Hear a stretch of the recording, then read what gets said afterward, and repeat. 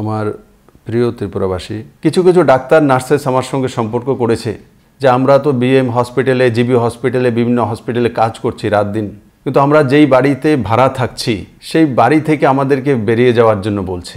আমি সবাইকে নিবেদন করব, কোনো ডাক্তার, নার্স বা হসপিটালের স্টাফ বা মেডিকেল স্টাফকে যদি আপনার বাড়িতে রেন্টে রয়েছে, তো তাকে বাড়ি থেকে তারা না করা যদি সবাই সিদ্ধান্ত করি যে আমার বাড়িতে আমি ডাক্তার ভাড়াটিয়া রাখব না, নার্সেসকে রাখব না হেলথের স্টাফ যারা রাত দিন সেবা করছে রাখব না, তাহলে এই হসপিটালগুলোর মধ্যে চিকিৎসা কে করবে? কে ত্রিপুরাকে করোনা ভাইরাস থেকে যে এক হাজারের কাছাকাছি পেশেন্টকে হোম কোয়ারেন্টাইন করা হয়েছে, আইসোলেশনে রাখা হয়েছে হসপিটালে, যাদের ব্লাড টেস্ট করা হচ্ছে, এই যে ফ্লাইটে মণিপুরের পজিটিভ কেসটার সঙ্গে এসছে, তার আশপাশে এগারো জনকে চিহ্নিত করে টেস্টিং করা, তারপর আজকে ফাইনাল টেস্টিং এসছে যে সবগুলো নেগেটিভ যদি আপনি বাড়ি থেকে বের করে দেন, তাহলে টেস্ট কে করবে?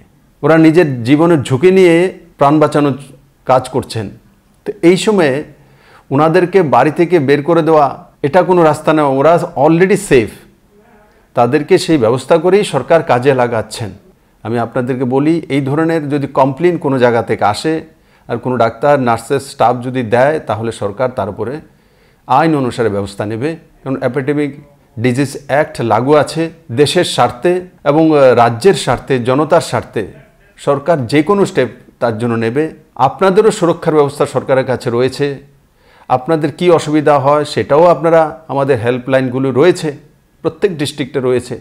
সেই হেল্পলাইনগুলোতে আগে কথা বলুন। জনতার স্বার্থে, রাজ্যের স্বার্থে সবাইকে মিলেমিশে কাজ করতে হবে।